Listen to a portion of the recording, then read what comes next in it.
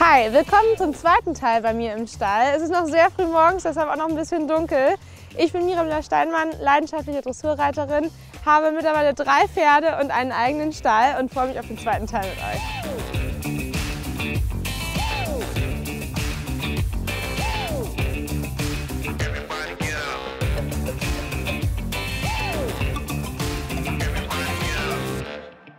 Mira, du hast dich hier richtig was getraut. Warum war dir das so wichtig, dass du einen eigenen Hof für deine Pferde hast?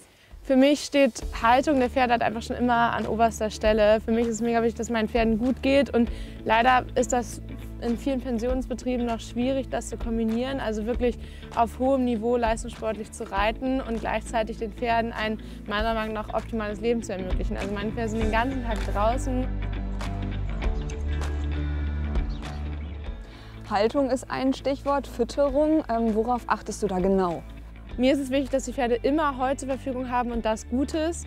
Also im Winter haben sie bei uns auf der Weide auch Heu und das dann halt aus dem Netz. Da fressen sie nicht so viel, aber über Nacht haben sie es wirklich frei zur Verfügung, dass sie keine Fresspausen haben und das Kraftfutter halt wirklich auch auf das Pferd und den Trainingsstand angepasst ist.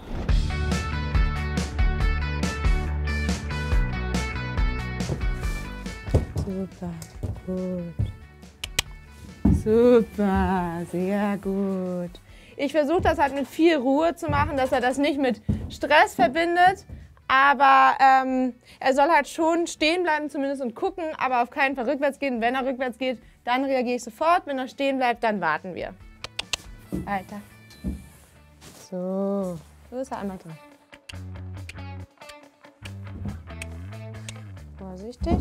Super. Sehr gut, vorsichtig. Also klappt ja mit allen aktuell alles richtig gut und da kann man sich ja dann auch drüber freuen, dran festhalten. Am liebsten hättest du ja einen Offenstall gehabt. Ähm, für manche Pferde ist das aber auch eine Herausforderung. Wie schaffst du es denn dann, dass die Pferde sich daran gewöhnen? Na, wir haben jetzt ja hier keinen Offenstall, sondern halt große Boxen, in denen die Pferde über Nacht stehen mit viel Sozialkontakt. Eigentlich finde ich Offenstall super toll.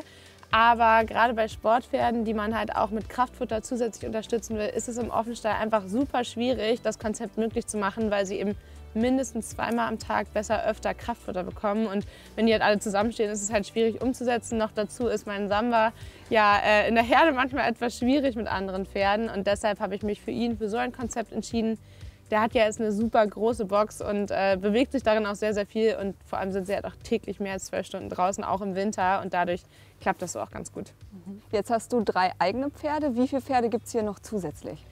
In meinem Stall ist Platz für 15 Pferde. Ich habe das Glück, dass ich sehr viele Freunde und Bekannte dazu holen konnte, die halt genau meine Meinung teilen, was Haltung und Fütterung und auch das Reiten angeht. Und deshalb haben wir so eben überwiegend den Stall gefüllt und das passt alles sehr gut zusammen.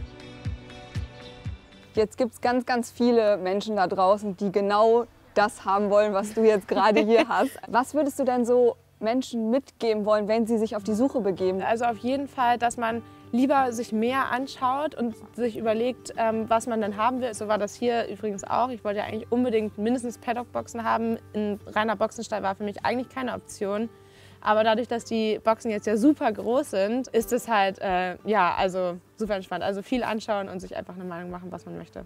Und du hast ja auch einen Abstrich gemacht, es gibt keine Reithalle wenn es meinen Pferden gut geht, ist es auch in Ordnung, wenn ich mal einen Tag nicht reite. Oder ich bin ja zum Glück durch meinen Job sehr flexibel und kann wirklich ins Regenradar gucken. Das ist mein bester Freund und Begleiter geworden und kann halt danach fahren, beziehungsweise die Woche auch danach planen. Und genau, für mich war halt klar, dass wenn ich was Eigenes finde oder eben generell nochmal Stall mit meinen Pferden wechsle, dass ich dann Kompromisse mache und nicht meine Pferde. Dafür habt ihr aber einen coolen Platz gebaut. Das war dir ja auch sehr wichtig, weil der Boden ist ja eigentlich fast das Wichtigste immer für alle Pferdemenschen. Ähm, da hast du aber was Besonderes gewählt. Ich würde sagen, so ein bisschen der Allrounder so im Reitsport. Warum kein Sand? Kein Sand ähm, aus mehreren Gründen. Wir sind ja nicht so viele hier und normalerweise kommen ja immer so Faktoren gerade im Sommer wie Wässer mindestens einmal täglich in der Hochsaison. Und das fällt bei dem ähm, AS-Ground, den wir haben, weg. Also es ist ja ein Teppichschnipselboden und das sieht am Anfang immer ganz sondersam aus, ist aber für die Pferde meiner Meinung nach sehr gut für Sehnen, Bänder und Gelenke. Das hat irgendwo auch einen Umweltaspekt, würde ich sagen, weil man halt Diesel spart und äh, Wasser spart und deshalb haben wir uns dafür entschieden statt Sand. Und was man auf jeden jeden Fall auch immer braucht, sind Leute, die einen unterstützen. Wer hilft dir da am allermeisten? Ich glaube, mental und auch ja, mit aller Kraft ist das Josie, meine mitbeste Freundin. Ich habe auch ein sehr gutes Stallteam, das den Stall sehr gut macht. Aber ähm, ja, größtenteils stand das natürlich alles bei mir, das zu erledigen. Josi haben wir vorhin schon äh, gesehen. Josie, magst du mal kommen? Ja, komme. Mega cool. Was würdest du denn sagen, Mira? Warum passt das so gut zwischen euch beiden? Ich meine, sie ist deine beste Freundin und Managerin. Ich glaube, das kann man nicht immer machen, berufliches mit privatem verbinden, vor allem in so einer engen Verbindung. Josie und ich kennen uns schon sehr lange und haben auch beide, glaube ich, nicht so ganz einfache Hintergründe und verstehen uns dadurch, würde ich sagen, sehr, sehr gut. Und deshalb ist sie auch so ziemlich die Einzige, mit der ich sowas zusammen machen könnte, glaube ich. Jetzt kannst du noch ein Veto einlegen. Stimmt das, was Mira mir hier erzählt? Oder? Ja, also bis jetzt habe ich nur Gutes gehört. Wie habt ihr euch zwei kennengelernt? Ich habe mit 15, 16 schon mal einen Offenstall gehabt, einen kleinen auch zu Pacht tatsächlich. Also ein ganz bisschen kenne ich mich mit dem Selbstständigsein schon aus. Und ähm, Josie hat damals ihr Pferd da mit hingestellt und so haben wir uns kennengelernt. Eine Zeit lang aus den Augen verloren. Das ist jetzt aber ja auch schon viele Jahre her, acht oder so, müssten es sein? Ja. ja. Ja, auf jeden Fall echt sehr, lang. Sehr vehement. Was würdet ihr sagen, ähm, ergänzt ihr euch gut? Wie ist das bei euch zwei? Also ich würde sagen, wir ergänzen uns auf jeden Fall. Du bist manchmal ein bisschen unsicher in manchen Sachen mit dem Pferd, aber das äh, wird auch immer besser. Und ich bin manchmal vielleicht ein bisschen zumutig und brauche jemanden, der mich ein bisschen polt. Aber, ich glaube, aber ja, ich glaube, die Ergänzung ist ganz gut. Also das, was du hast, dieses Mutige und einfach machen und dieses Urvertrauen, dass das irgendwie eh schon klappt, ähm, das habe ich nicht ganz so. Ich bin auf jeden Fall eher, siehst du auch die Risiken, bist du dir sicher?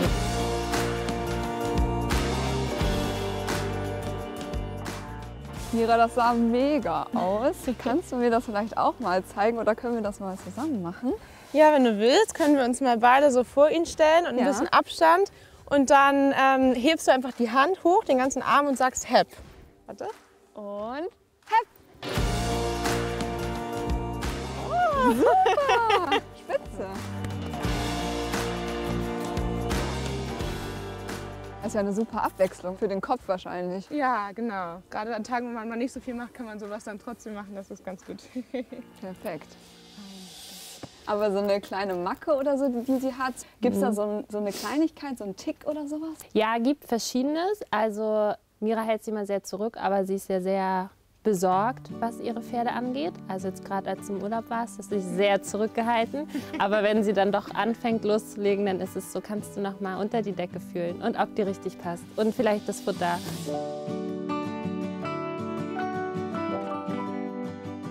Samba satteln. Stimmt, bist du auch speziell? Ja. Mhm. Was machst du da? Mhm.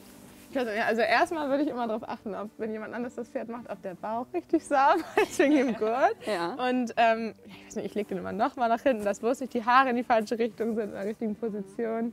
Und ja. ihr Reiten analysieren, das ist so... Ähm, ihr eigenes Reiten oder dein Reiten? Nee, ihr eigenes. Okay. Ja, also das ist so, ähm, da kann sie sich stundenlang den Kopf drüber zerbrechen und man denkt sich so, boah, war doch gut. Also natürlich mache ich auch mit und ist auch wichtig, weil sie ja auch einfach sich verbessern will. Aber das kann schon ähm, ja, Stunden füllen. Gibt es irgendwas, was ihr außerhalb von Reiten oder so super gerne zusammen macht? Ja, also definitiv was mit den Pferden. Ja. ähm, also an Strand fahren. Ich glaube, Strand ist ein gutes Stichwort. Wir haben ein richtig cooles Video und ich würde gerne noch mal mit dir so ein bisschen in den Erinnerungen schwelgen. Okay, du kannst mal erzählen, ja, wie das für dich war.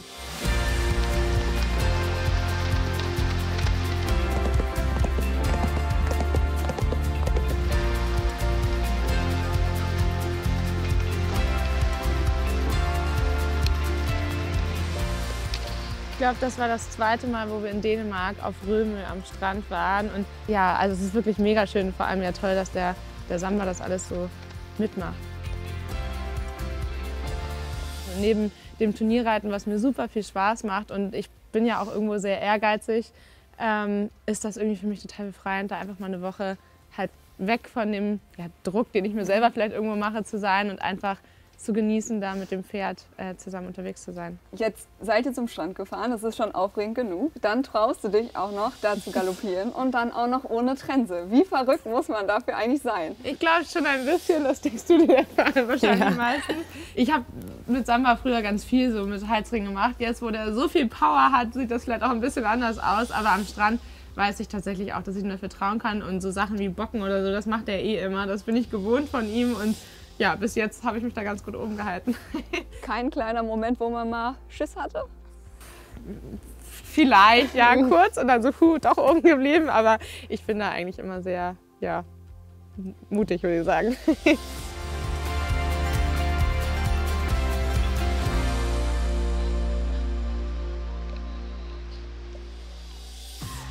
Mira, vielen, vielen lieben Dank, dass wir hier bei dir zu Gast sein durften. Das war echt mega. Ich würde sagen, folgt Mira auf ihrem Instagram-Account und wir sehen uns beim nächsten Mal.